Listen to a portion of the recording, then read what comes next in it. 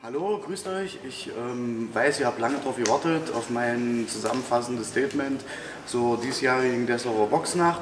Ihr seht, ich bin wieder im normalen Tagesgeschäft unterwegs, hier bei uns im Polizeisportverein und habe jetzt auch soweit alles ziemlich abgearbeitet, was in der Nachbereitung der Veranstaltung noch angefallen ist.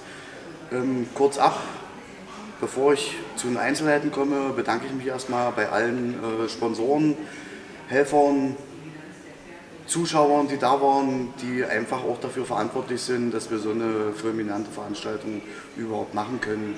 Ja, zum äh, Thema Zuschauer, wir sind, waren sehr zufrieden, sind zufrieden mit ähm, der Frequentierung der Veranstaltung. Wir hatten also zu den Hauptkämpfen über äh, 2000 Zuschauer auf den Rängen und äh, unten im Bereich am Ring. Ich denke mal, das ist äh, super, so eine Steigerung zum letzten Jahr, wobei ich dazu sagen muss, dass wir letztes Jahr noch beschränkt waren durch ähm, Corona. Ähm, begonnen hatten wir 16 Uhr mit dem Einlass, da kam erstmal der erste Schwung rein, das ist klar, 17.30 Uhr dann die Kinderkämpfe. Da waren dann auch schon sehr viele Zuschauer da. Äh, ein großer Teil ist nochmal zu den Hauptkämpfen gekommen. Das finde ich immer ein bisschen schade. Ähm, weil auch die äh, Vorkämpfe bzw. die ähm, Nachwuchskämpfer auch verdient haben, äh, vor einer vollen Kulisse zu boxen. Ja, aber auch da waren es schon, sage ich mal, 1200, 1500. Ich habe dir mal einen losgeschickt, der da mal erzählt hat, ähm, es hatte sich ziemlich verteilt auch durch den Bereich ähm, mit den Bars und den Bierwagen bzw. der ganzen äh, Versorgungsstrecke. Da waren es immer 2012. Und ich denke mal, damit kann man eigentlich zufrieden sein bei so einer Veranstaltung. Wie gesagt, wie eben schon erwähnt, ähm, 17.30 ging es dann los mit den ersten beiden Kinderkämpfen. Dann ein bisschen Rahmenprogramm. Ich denke mal, dass die Geschichte mit der Kugel, mit den Motorrädern ähm, euch sehr gut gefallen hat. Das ist stark, das passt auch ähm, zu uns, zu unserer Veranstaltung. Genauso wie abschließend nachher ein großes Feuerwerk, worauf sich auch schon wieder alle gefreut haben. Danke nochmal an Christian Knauer, dass er da wieder so ein Ding rausgehauen hat und uns da wirklich in allen Belangen entgegengekommen ist. Ich komme mal zu den Kämpfen, äh, die wir dann beschritten haben, was Wertungskämpfe sind. Die Kinder, das ist äh, Vorboxen gewesen. Vorboxen heißt immer, dass ähm, die Kinder sich erstmal daran gewöhnen, vor so vielen Leuten zu boxen. Laut Wettkampfbestimmung in Deutschland ist es auch erst äh, möglich, mit zwölf Jahren Wertungskämpfe zu machen. Die Beteiligten waren unter, unter, dem, unter der Alterskategorie, deswegen Vorboxen. Einige von denen dürfen nächstes Jahr schon richtige Wertungskämpfe machen. Ähm, die Vorboxkämpfe enden somit auch immer unentschieden. Wie gesagt, es ist einfach nur da, dass sich die Kinder an die Atmosphäre gewöhnen, an den Boxring und überhaupt vor Zuschauern zu kämpfen. Ich kann mich daran erinnern, wie das bei mir war damals. Ich hätte mich gefreut, wenn es so eine Möglichkeit ähm, gegeben hätte weil ähm, ich war auch schon älter, bin also gleich in Wertungskämpfe rein. 16, ja, was soll ich sagen? Also ich habe mir schon das erste Mal wirklich, ähm, naja, ich sag's mal auf Deutsch, ähm, bald eingeschissen, wo ich zum Boxring gelaufen bin. Ja. Das haben die dann alles nicht mehr, die Kinder. Ja, die gehen völlig locker, wenn die dann 13, 14 sind zum Ring und wissen genau, was da passiert. Also das ist schon eine wichtige Sache, das sollten mehrere Trainer machen, finde ich. So, dann hatten wir als ersten, was eigentlich, äh, eigentlich ein K1-Kampf werden sollte, ähm, den Janis Gulas. Der hat äh, einen Boxkampf gemacht, weil der Gegner am selben Tag abgesagt hat. Glücklicherweise war mit Ferdinand Berischer ähm, ein Boxer mit, der eigentlich die Osnabrücker nach Dessau gefahren hat, also war eigentlich als Fahrer mit. Der hat sich dann bereit erklärt, dort den Kampf zu machen, weil das Gewicht, das hat natürlich eins zu eins gepasst auch. Das war wirklich für Zufall auch mit dabei. er ist gleich eingesprungen und äh, hat, sage ich mal, dem Janis einen super Boxkampf geboten, den er auch gewonnen hat. Natürlich für Janis schwierig, er war auf K1 vorbereitet, musste dann boxen, ist aber kein Problem, hätte auch gewinnen können. Weiß er selber, er weiß selber, was er für Fehler gemacht hat. Wir haben das auch durchgesprochen, woran es lag im Endeffekt. Aber es war ein Kampf über drei Runden, es war ein harter Kampf, war ein blutiger Kampf und ich denke mal, ähm, man hat gesehen, dass, dass wir auch kämpfen und dass wir auch ehrlichen Sport treiben. Und äh, wenn man ehrliche Boxkämpfe veranstaltet, dann kann auch natürlich mal der andere gewinnen, das ist logisch. Ja. Der David Bodenstedt hat den einzigen K1-Kampf auf unserer Veranstaltung gemacht, ähm, was natürlich auch wieder Absagen geschuldet war. Er hat seinen Gegner natürlich komplett unterschätzt. Die Quittung dafür hat es natürlich dann gegeben. Technisch sehr, sehr versiert, Dogan Kornatz gegen David Bodenstedt und ähm, hat das Ding dann auch nach Punkten gewonnen, klar nach Punkten gewonnen. Da gibt es auch nichts dran zu rütteln. Wir wissen, woran wir arbeiten müssen. David weiß, was er nächstes Mal besser machen muss und völlig in Ordnung. Als vierten Wertungskampf bei uns hatten wir ähm, Florian Hesse im Gentleman's Boxing, man kann auch sagen alte Herrenboxen, Seniorensport, ähm, weil das ist, ist ja schon äh, eine Kategorie Ü40. Ja, warum sollte man auch nicht solchen Leuten die Möglichkeit bieten, vor einer Kulisse zu boxen? Ich bin mir da äh, für nicht zu schade, auch Leute zu trainieren, äh, die mit 40 herkommen zum Training und sagen, Mensch, wir finden das schon immer gut und hatten nie Zeit, wir würden ja gerne mal boxen lernen. Ja, jeder Trainer sagt dann wahrscheinlich, oh, da würde ich jetzt meine Zeit nicht dran verschwenden. Aber ich sage mir, okay, wenn der einen Traum hat, warum soll ich den denn nicht erfüllen? Dann soll das so sein. Ja, natürlich ist die Gegnerwahl dann dementsprechend. Ähm, dass wir den da keinen 20-Jährigen hinstellen, der voll im Saft steht, ist völlig klar. Da stimmen ja die Verhältnismäßigkeiten nicht. Er hatte letztes Jahr den gleichen Gegner mit Mortaza Hussein, ähm, hat den Kampf verloren nach Punkten. Dieses Jahr war es halt andersrum. Da war Flo wieder bessere. Wir mussten gucken, wie wir ihn einstellen. Wie gesagt, bei einem 44-Jährigen, da passiert jetzt nicht mehr viel. Ähm, da kann man auch nicht mehr viel beibringen oder, oder, oder lernen. Da ist irgendwo ist dann da eine Grenze vom Körper her steckt. Ja, wir haben uns auf das konzentriert, was er kann. Er sollte gerade Hände schlagen, sollte eigentlich äh, einfach boxen. Das hat er gemacht und hat sich somit halt äh, den Sieg gesichert.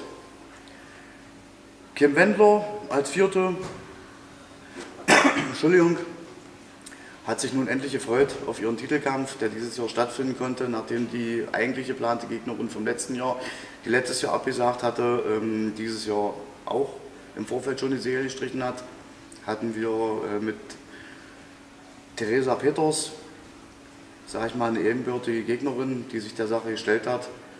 Und es war auch ein Top-Kampf. Technisch super, ordentliches Boxen. Am Ende konnte Kim zu unserer, äh, zu unserer Freude, unserer Zufriedenheit und zu ihrer Freude, sind ja auch Freudentränen geflossen, hat man ja gesehen, äh, den Kampf dann als Siegerin, äh, den Ring als Siegerin verlassen. Und somit war ich dann eigentlich für die Veranstaltung mit unseren Kämpfen durch. Ja, die Kämpfe, die zwischendurch gelaufen sind, mit Sportlern aus Ludwigsfelde, Osnabrück und ähm, Halberstadt, Bernburg, äh, waren alles eigentlich äh, Top-Kämpfe. Also die Zuschauer haben eigentlich äh, das honoriert und haben gesagt, also die Fight Card war super dieses Jahr, waren ausgewogene Sachen. Auch die ähm, Profiboxkämpfe, die noch dazwischen geschoben wurden, weil wir brauchen ja als Veranstalter, ich bin ja da nicht nur äh, Mitveranstalter, sondern auch Trainer. Ich bereite die Kämpfer vor, ich bin in der Kabine, ich bin eigentlich nur am Hin und Herren, brauchen wir natürlich auch Zeiten. Deswegen hat man dieses Jahr auch mehr Pausen eingebaut. Äh, die, ja, die einen Zuschauer fanden es gut, die anderen fanden es schlecht. Die hätten halt mehr Boxen gesehen. Ich meine, gut, wir haben 13 Kämpfe geboten, mussten natürlich ziemlich zeitig anfangen und hatten halt statt zwei Pausen äh, drei Pausen eingebaut, dass die Trainer die, ähm, auch die Möglichkeit haben, ihre Kämpfe vorzubereiten und nicht äh, zwei oder drei Kämpfe ganz hintereinander haben. Ja, das ist äh, für die Kämpfer auch blöd. Das muss man nicht haben. So, dann kommen wir jetzt zu den Hauptkämpfen. Der erste Hauptkampf des Abends war Ronny Gabel gegen Viktor Plotnikov aus der Ukraine um die WBU-Weltmeisterschaft im Superweltergewicht. Das war ein Knaller.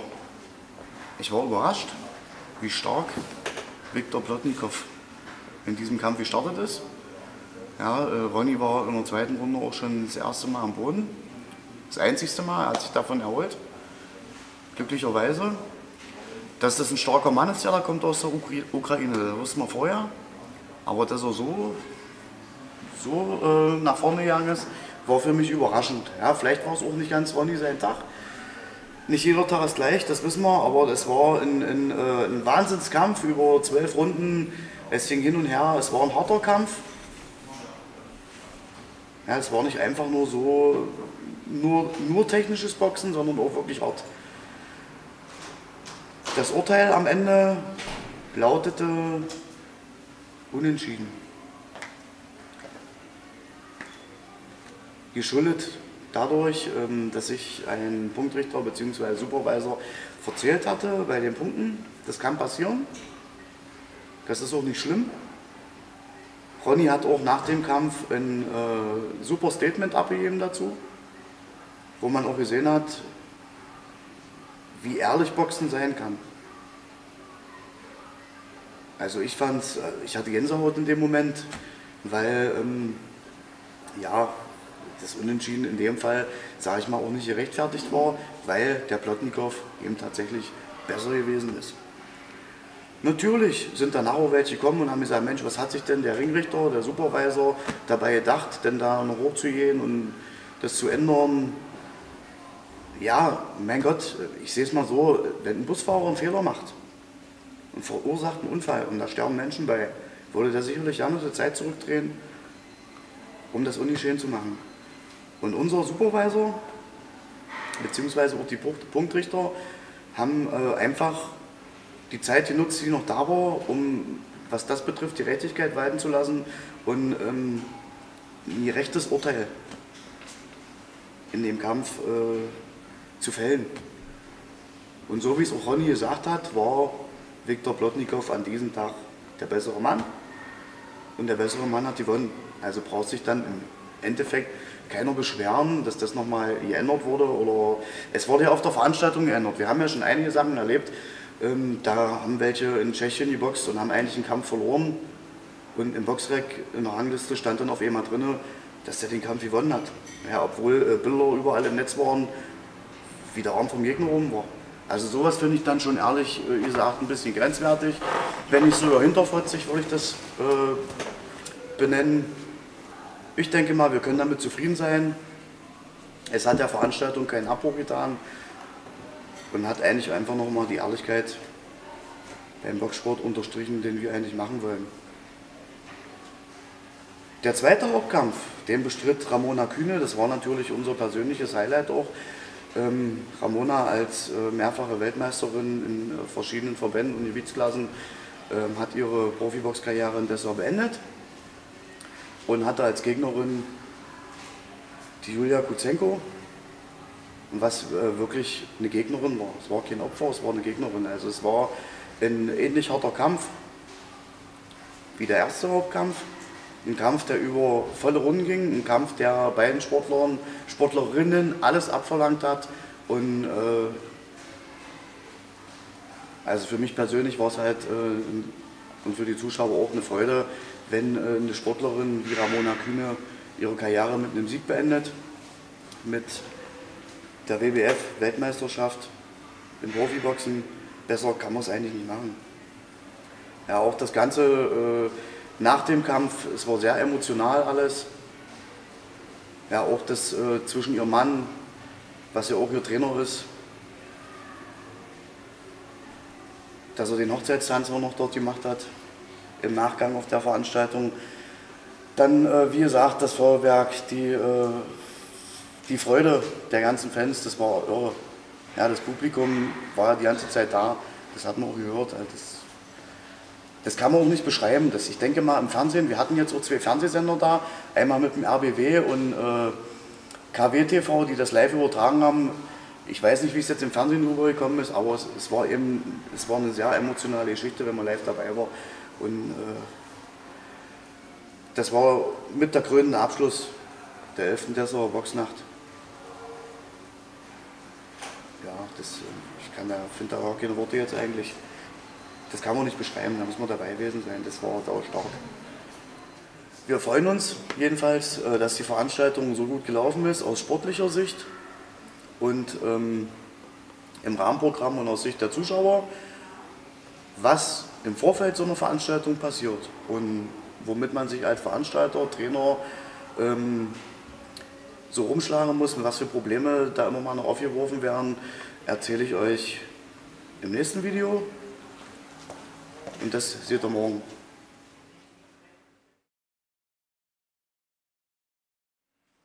So Leute, grüßt euch, da bin ich wieder. Äh, hier ist versprochen äh, der zweite Teil oder das zweite Video, wo ich einfach mal ähm, ein bisschen erzählen wollte, was im Vorfeld so einer Veranstaltung so passieren kann. Ähm, eigentlich auch nicht passieren sollte und womit man sich immer mal so ein bisschen rumärgern muss oder rumschlagen muss. Das erste Problem ist, ähm, was uns dieses Jahr mal ereilt hat, war die Sache mit dem Personal. Wir hatten also im Vorfeld unserer Veranstaltung wirklich ähm, unser eigentliches Team. Durch die Größe der Veranstaltung brauchten wir natürlich noch mehr Personal. Ähm, ja, das war schwierig zu finden. Kennen wir alle, hören wir überall momentan. Ähm, zuverlässig, zuverlässige Leute zu finden, ist momentan schwierig. Boah, macht mich natürlich ein bisschen sauer, weil ich weiß natürlich, dass äh, viele, viele Leute nicht arbeiten gehen. Ähm, ja, da fehlen einem manchmal auch die Worte. Ja. Ich bin immer der Meinung, wer nicht arbeiten, wer nicht arbeiten will, soll auch, soll auch nicht essen. Ja, das ist mein Slogan dazu. Der zweite Punkt ist meistens so die Sponsorensuche. Wir haben natürlich unsere Hauptsponsoren, die stehen meistens, da gibt es gar kein Problem. Äh, wir sind da auch sehr, sehr dankbar, dass die immer hinter uns stehen, zu uns stehen, bei uns stehen. Ähm, neue Sponsoren zu finden ist in der momentanen Zeit halt immer schwierig, weil ähm, man hört überall das Gleiche. Ja, letztes Jahr war okay, dieses Jahr ist, ist es Krieg und ja, da frage ich mich dann auch, ob das äh, jetzt das Allheilmittel ist, um irgendwie äh, Dinge darauf zu schieben. Ja. Das eine Mal war es Corona, jetzt, jetzt ist es der Krieg. Äh, da jetzt dann auch um Preisgestaltung der, ein, der vielen Gewerke, äh, mit denen man da zusammenarbeitet. Ja. Das geht dann los bei den Dixie-Scheiß, äh, Quatsch, ähm, Entschuldigung, Toiletten. Äh, das braucht man ja auch alles, ja, das kostet auch einen Haufen Geld. Ja, das, das waren schon herbe, herbe Verhandlungen dieses Jahr. Ja. Weiter bei der Zimmersuche für unsere Sportler.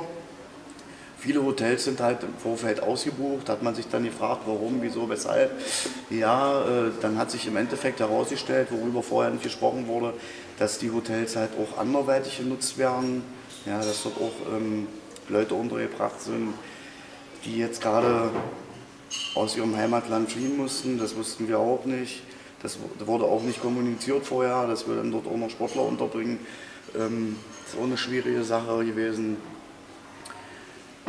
Die krasseste Nummer war mit den Verbänden dieses Jahr, weil es ging hauptsächlich um den Kampf von Ramona.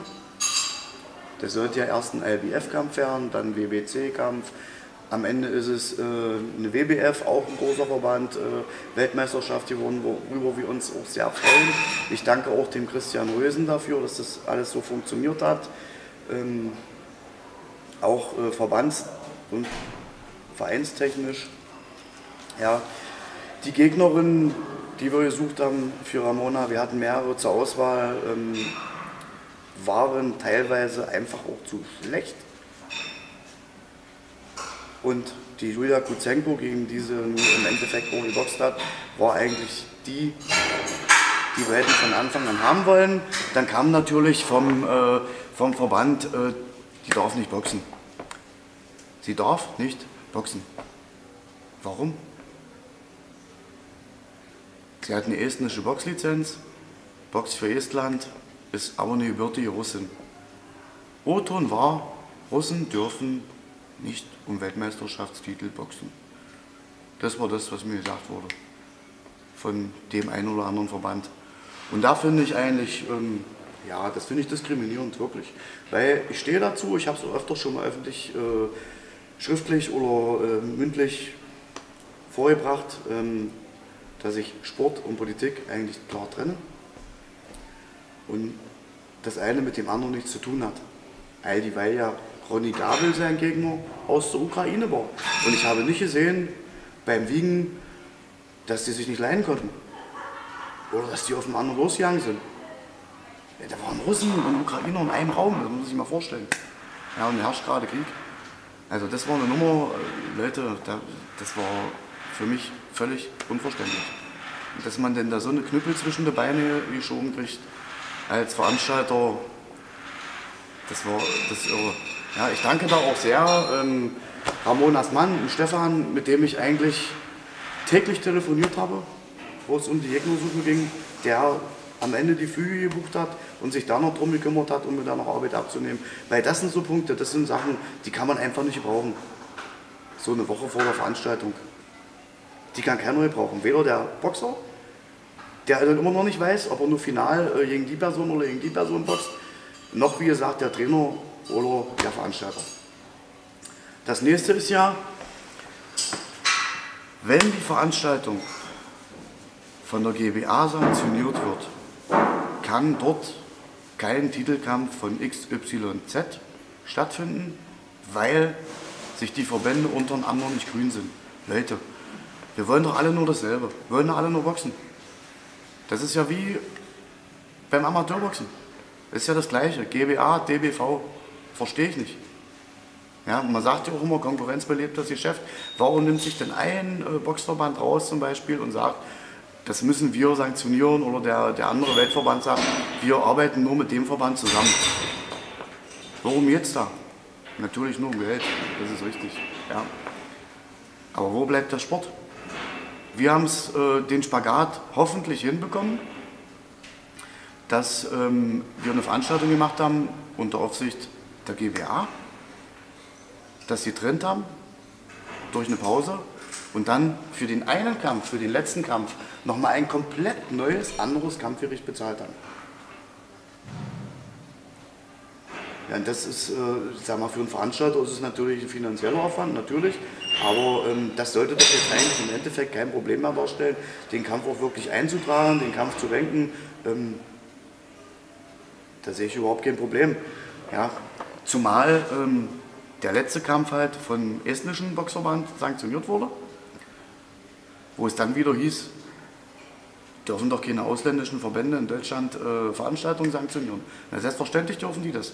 Ja, das hat es doch schon gegeben. Das kann ich auch raussuchen, das kann ich alles belegen, was ich jetzt hier sage.